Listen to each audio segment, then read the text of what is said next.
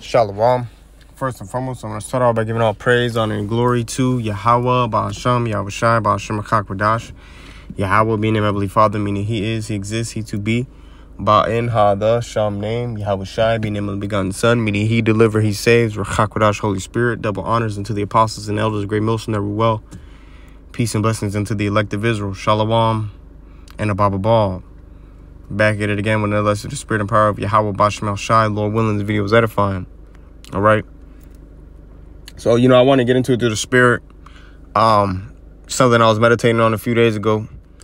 You know, don't be surprised when you only see a few people stopping by the camp, waking up to this truth, and you see the masses just walk on by and not regard it, not care, not even think twice about it, not even consider.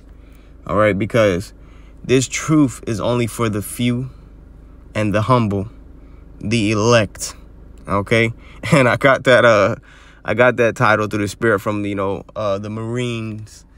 You know, what they say the few, the proud, the Marines, right? But really it's the few, okay, because the elect is few, the humble, because the elect are gonna be humble. The elect are gonna humble themselves and submit to the ways of Yahweh Shai. Okay, because it takes pride to go against the ways of the Lord. All right and it said and the elect man because that's really what it is. It's all about the elect okay? The few the humble the elect man. So i want to get into some precepts basically backing up how this truth is only for the elect all right ecclesiastes or ezekiel chapter 11 starting at verse 16 it says um, therefore say thus saith the lord power although i have cast them far off among the heathen and although I have scattered them among the countries, yet will I be to them as a little sanctuary in the countries where they shall come. That's right. The Lord is as little sanctuaries, man.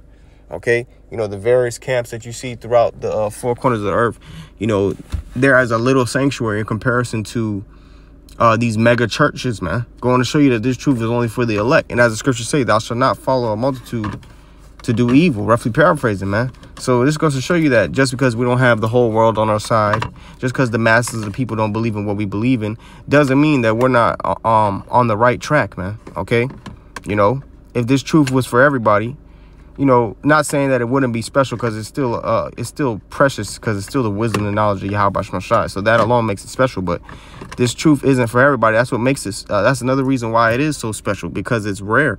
It's only for the elect, man. Okay. You know, just like gold. Gold, gold is a precious metal, you know. Not saying that there isn't a lot of gold out there, but gold in comparison to all these other elements, gold is a is a precious metal. All right. You know, and like it says, the Lord is as little sanctuaries in the countries where they shall come, man. All right. Even when you uh get this precept right here, this is Second Esdras chapter eight, starting verse one. And he answered me, saying, The Most High hath made this world for many, but the world to come for few, man. That's right. This world that we're in now is only for uh uh for for the masses, right? But the world to come, right? The the, the kingdom of heaven being on earth, that's gonna be for the few, and that few represents the elect, man. Because majority of these people in this world is getting ready to be put to death, be destroyed, man. Okay?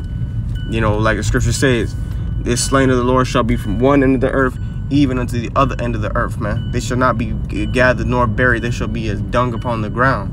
All right. Scriptures all speak about how the the the the, the bodies of men shall be up to the camel's hoof and the horse's bridle, bridle. So you're gonna have bodies stacked up out here, man. A lot of these people are getting ready to be destroyed. Isaiah 66 says how the slain of the Lord shall be many. Okay. So the Lord getting ready to back to put in work. The Lord getting ready to come back and destroy a lot of people because a lot of people are given over to vanity and wickedness, man. You see? So it makes perfect sense why only the few, the elect, the humble will receive this wisdom, knowledge, and understanding of Yahweh Shai and fear the Lord and repent here in these last days, as it is written. All right, verse 2 I will tell thee a similitude, Esdras, as when thou askest the earth, it shall say unto thee that it giveth much mold, whereof earthen vessels are made. But little dust that gold cometh of, even so is the course of this present world. There be many created, but few shall be saved. All right, that's right, man. And does not the scriptures liken them the elect unto uh, uh, to fine gold? All right, the, as the golden wedge of Ophir, you know, which is the most precious gold there is, man. So a man of Yahweh Bashmel Shai, like Sir say, the sons of Zion comparable to fine gold. Men of the Lord are going to be like fine gold in these last days, man. You know, because in comparison to the masses of this world, it's going to be rare to find a man of Yahweh Bashmel Shai, you know, who's of the elect, who the Lord is dealing with, man. And that's why you're going to see situations like Isaiah 32, where it says a man shall be as a hiding place. All right, Isaiah 4 and 1, seven women taking hold on one man, because there's going to be a lack of men.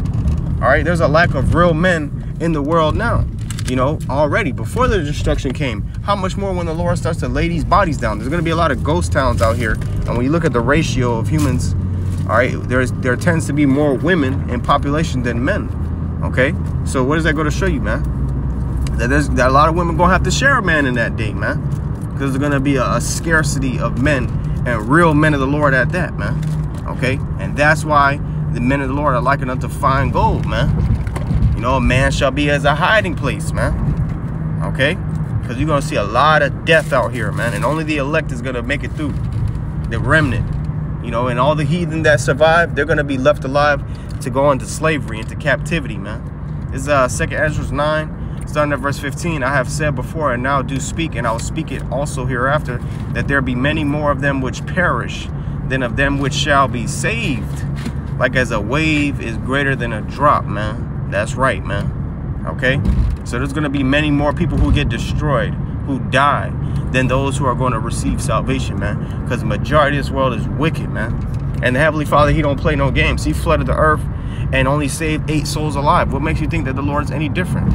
The Lord said, I, the Lord, change not. Therefore, you sons of Jacob are not consumed, man okay? And the reason why the lord is leaving the remnant so that he is because he doesn't change ultimately because even you know we, as the remnant lord willing we be a part of that elect we went off too. But through the lord's mercies and for his name's sake he's gonna have mercy on his elect. Lord willing we be a part of that number man. And he's not gonna make a full end of the nation of israel. You know and how is he not gonna make a full end through the remnant through the elect? That's why the scriptures say uh if the lord had not left the remnant we would have been like unto sodom and gomorrah man all right, so the Wadi Abashim Shai for leaving the remnant so that the nation of Israel doesn't get exterminated, man. So that the Lord can keep his promises that he kept to Abraham, Isaac, and Jacob.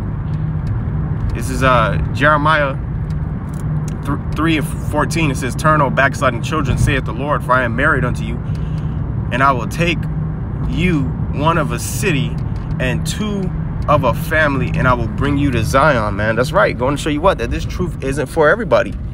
You know, um, basically, what, what happened when Yahushua was on the scene? Yahushua, he had uh, brothers and sisters. Okay, he had, you know, family members who were in the truth, and he had family members who didn't follow him. Huh? He had two brothers that followed him, and the rest of his family members didn't follow him. You know, his mother, you know, she she she might be of the elect. Okay, but nonetheless, that goes to show you what the Lord was true when He said He would take two of a family and one of a city and bring us to Zion. And you see that now, man. A lot of times for certain brothers, you know, it's a rare, it's a rare case when you find a brother's whole household in the truth. Okay? You know, sometimes a brother, it might be only that brother who believes. Okay, sometimes you might see, you know, a brother, maybe his brother believes. Sometimes you might see a, two brothers and a father believe, you know. Sometimes you might even see the whole household, but that's rare. Okay, most of the time you just see a brother, you know, or, or a brother and his woman, or, you know, a man and his son, whatever the case might be, you see? So this truth isn't for the masses, man. It's only for the elect. Okay? And you saw that with Yahweh Shai. Yahweh Shai, two, two, uh, two of a family, man. You know? And never mind those notes, you know? Don't mind those notes, because that was for a different scripture. You see what I'm saying? But anyways, um, let's get a next precept. Let's go to Ecclesiastes, right? Going and show you that this that it's scarce to find a man of the Lord in these times. Ecclesiastes 7, even though there is a lot of the elect, scripture speak about how the elect is likened unto a innumerable multitude. But you got to think about the comparison of the elect in, in uh, compared to the rest of the world, man. You know, going to show you how much people is getting ready to die. Ecclesiastes 7, starting at verse 28, which I'm going to start at verse 27. Ecclesiastes 7 and 27. Behold, this have I found, saith the preacher, counting one by one to find out the account which yet my soul seeketh, but I find not. One man among a thousand have I found, but a woman among all those have I not found. You see, so one man out of a thousand men were considered to be upright. You see?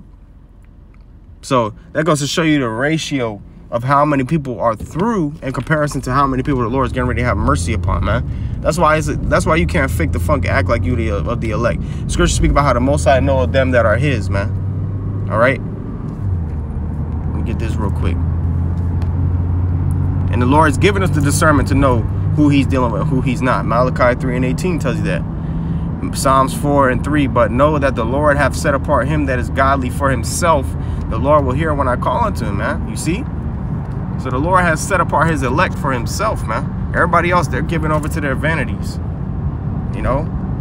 That's why Yahweh said in Matthew 22 and 14, For many are called, but few are chosen, man. That's right, man. Wide is the gate, and many there be which go therein at, which leads unto destruction. But the narrow and that straight gate, few there be that find it, man. So this truth is only for the few, the humble, the elect, man. Okay? And I'm sure there's other precepts you could get to back up the point, but the point has been made through the Spirit, man.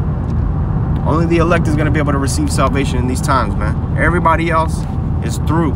Point blank period. So don't be surprised when you start to see a lot of people start dropping dead a lot of people getting destroyed. All right. Yeah, it's bitter. Yeah, it's not easy to hear that, but it's coming, man. All right. So the best thing to do, it would behoove you to repent and serve the Lord and put off your own foolish ways and take heed to the ways of Yahweh Shai. If not, get destroyed, man, in your folly, man. All right. Romans 11 and 7. What then? Israel have not obtained that which he seeketh for, but the election have obtained it, and the rest were blinded, man. So that's what it's all about. It's all about the elect, man. The truth is only for the elect. Everybody else is going to be destroyed, man. Okay? He's only coming for his elect. Ezekiel 9 and 4. And the Lord said unto him, Go through the midst of the city, through the midst of Jerusalem, and set a mark, which means tawa, mark of exemption, of judgment, upon the foreheads of the men that sigh and that cry for all the abominations that be done in the midst thereof.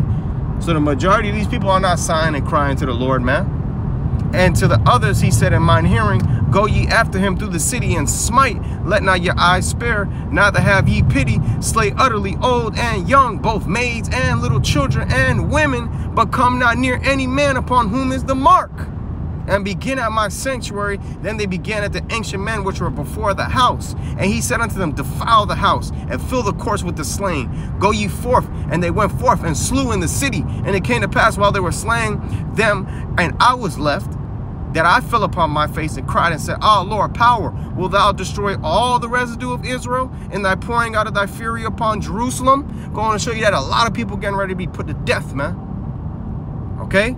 Then said he unto me, The iniquity of the house of Israel and Judah is exceeding great, and the land is full of blood, and the city full of perverseness. For they say, The Lord hath forsaken the earth, and the Lord seeth not.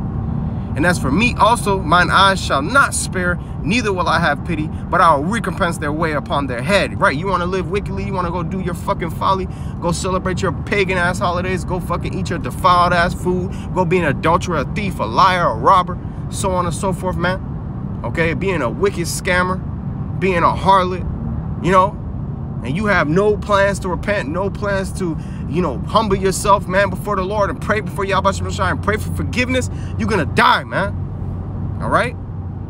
And the Lord not going to have pity upon you in that day. You're going to call upon the Lord in that day, and he's not going to answer you, man. The Lord's going to turn his face from you, man, because you behaved yourself ill in your doings, man. And while you yet had opportunity to repent, you you you said it as a thing of not, man. Okay? It says, And behold, the man clothed with the linen which had the inkhorn by his side reported the matter, saying, I have done as thou hast commanded me. That's right. Them death angels, they ain't gonna come, they not gonna return in vain, man. The Lord sent them out to do a mission to put somebody to death. Guess what? Somebody getting put to death, man. No fans or buts about it, man. And a lot of you people, you deserve this shit because you know better, but you don't want to do better, man. James 4 and 17. You know? Let me get this precept. Second Esdras 7. And uh verse 19. And he said unto me, There is no judge above the most high, and none that hath understanding above the highest, for there be many that perish in this life. It didn't say many saved, it said many that perish. in this life because they have despised the law of Yahweh Bashmashai that is set before them. For Yahweh Bashmashai hath given straight commandment to such as came what they should do to live, even as they came, and what they should observe to avoid punishment. Nevertheless, they were not obedient unto him, but spake against him and imagined vain things and deceived themselves by their wicked deeds and said of the Most High that he is not and knew not his ways. But his law have they despised and denied his covenants, and his statutes have they not been faithful and have not performed his works. So what's going to happen? They're going to be destroyed, man. Rightfully so. What do you expect? You living wickedly before the Lord, you think the Lord just going to give you a pat on the back, man? And tell you everything's okay? No, he's going to reprove you with judgment, man. And if you keep continually walking contrary to him, he's going to walk contrary to you and bring seven times more plagues upon you for your evil and for your wickedness, man. To the point where he got to destroy you if you don't turn back, man. All right? Yahweh Shemashah is getting ready to bring a lot of death in the planet Earth, man. A lot of these people think it's a fucking joke. Well, you're going to find out the hard way. Lord willing, this video was edifying. I want to give all praise, honor, and glory to Yahweh Bashmel Shai, Bashim Chakbadash, the honors to the apostle was great most and never well. Peace and blessing to the elect of Israel. Shalom and above all.